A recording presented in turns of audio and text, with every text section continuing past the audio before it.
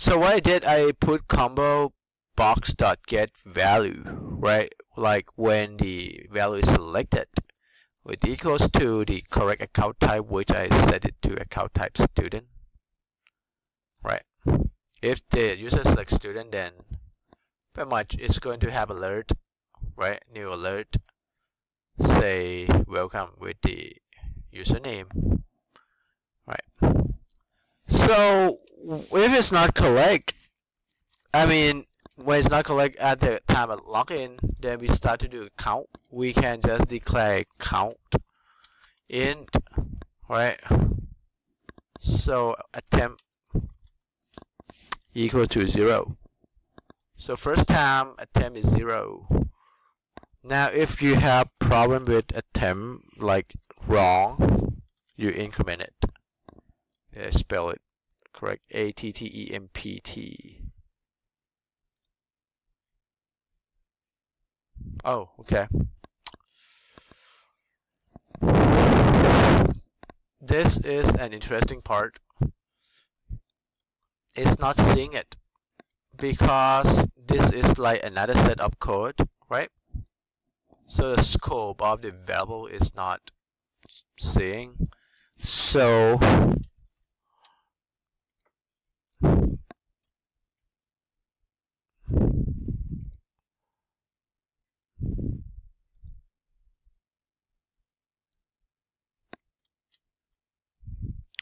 Local variable attempt defined in an enclosing scope must be final. So I need to make it final, otherwise it's not going to see it. Right, must be final. So let's move, since we had a problem with the scope, so we can move this inside. Like everything that you declare, you see that on the test for your final too.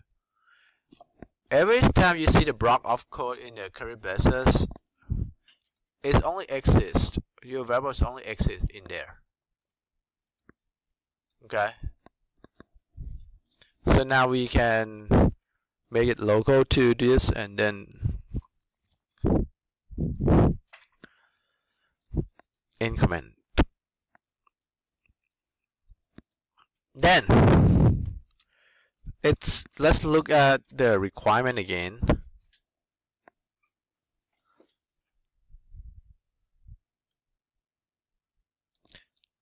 This program only allows user to enter username and password incorrect for three times.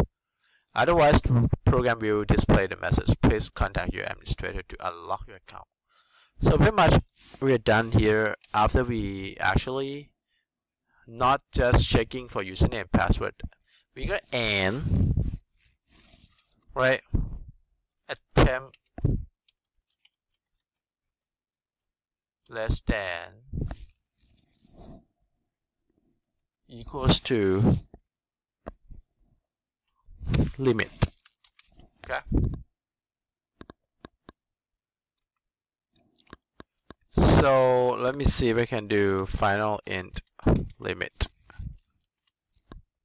and keep it to 3. Right?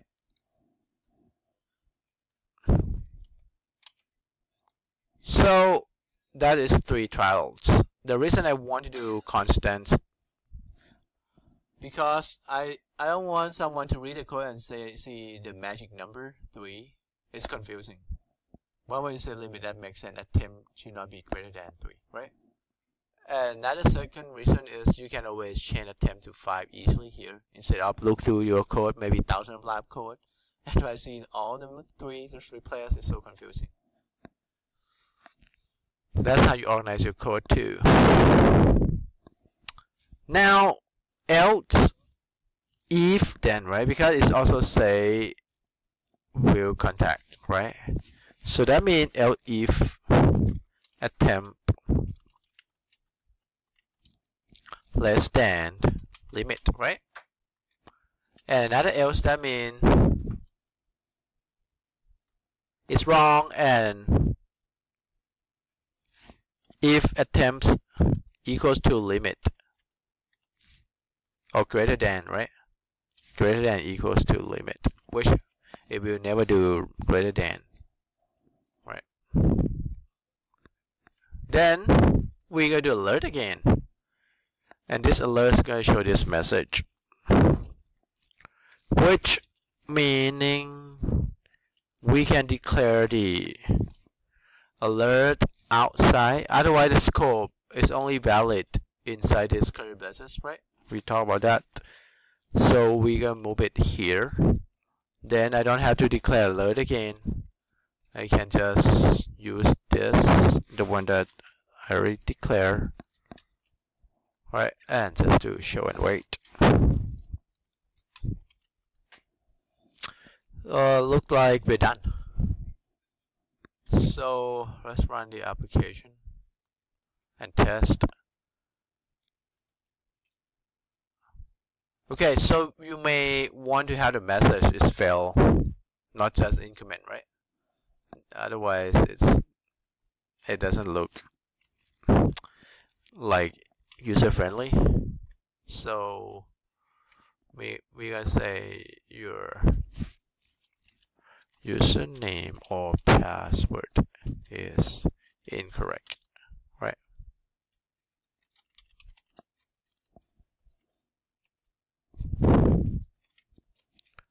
Let's run again. I move fill. Okay, one, right? Fill two, fill three. Three attempts. Okay, so something not right around here. We have to fix it, right? It's supposed to say contact admin. It looks like our attempt is the issue here, right? Why? Because every time when I click it, it's reset to zero. Because it's inside this code, see that? So every time I click it, it's always set to zero. That's the issue here. So Now that's a problem again. We cannot increment it. We see an issue with the temp if it's in here, it's always reset to zero, right? If it's inside the method here, it's pretty much just local to that method. It's not going to show in here, right? So a temp has to be global.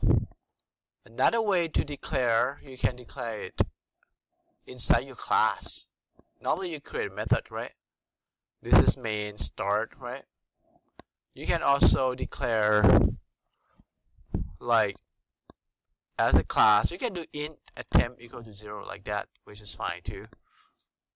But it's a good idea just when you eh, whenever you do it like that, you should get the private keyword, and you can talk about that in 201 why.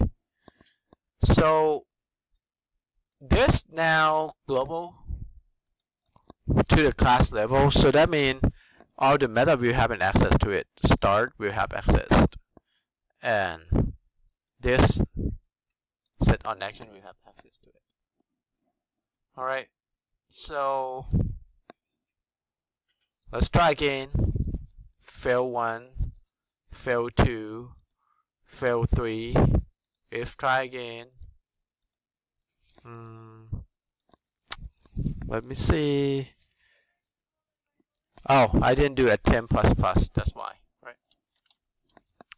I just delete that code out. Run again. Fail 1, fail 2, fail 3, Piss contact.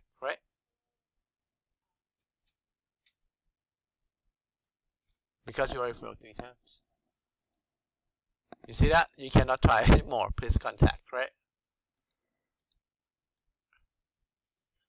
But so username welcome username and the oh uh, let's look at the logic it should not say welcome, right? it should show this first right? So let's fix it. So make it visible. Oh because my default I set it to student. So that's why it just show right away. Show and then say welcome. Because my default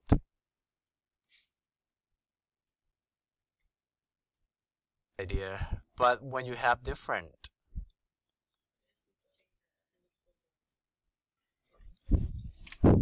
But yeah it's not fine when because it's gonna say welcome but let's test where it's not. It has to do something it didn't do it yet right? It should say else. You have a long account so it should keep prompting you to select count what it say right? So uh, select account.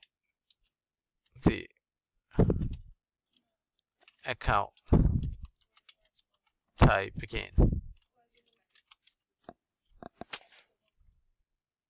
Uh, wrong account type please. Okay. Now the problem this is always going to be default then I should not set the default. If I don't set the default to be student but I'm going to set the default to be uh, like like normally when you log in they actually don't have default for you. That's the reason right? It can be there's some value like say uh, select account right? Or something like that right?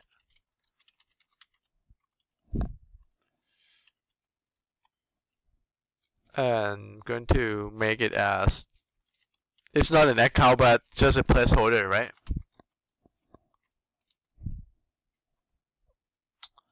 and then set that to select account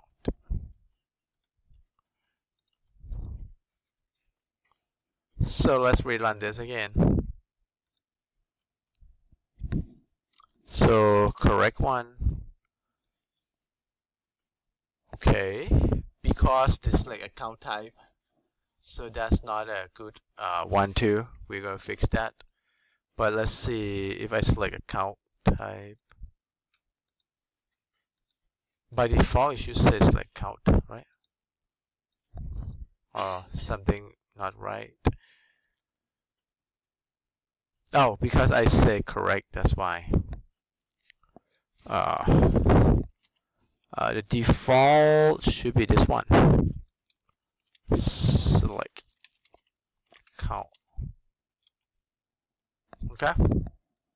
Let's rerun again.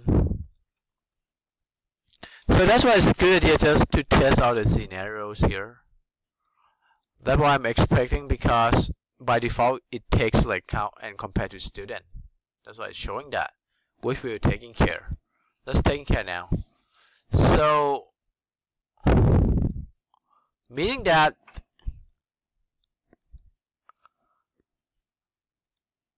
this one should not check yet, right? This part should not be inside, otherwise it's going to check right away. We can make it outside. We can make it another else if statements here, right?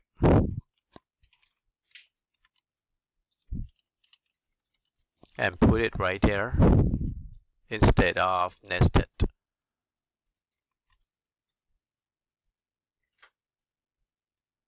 And if else if not equals